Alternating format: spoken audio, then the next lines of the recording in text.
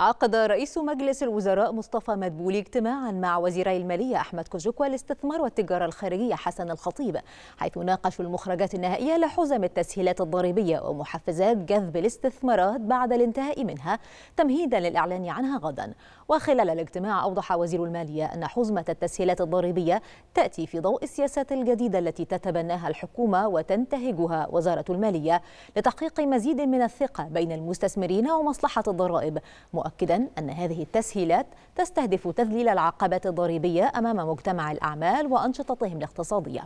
من جانبه استعرض وزير الاستثمار والتجارة الخارجية الملامح النهائية لحزمة محفزات الاستثمار التي انتهت الوزارة من صياغتها بالتعاون مع الجهات المعنية والمستثمرين مشيرا إلى أن هذه الحزمة تستهدف تحسين مناخ الاستثمار في مصر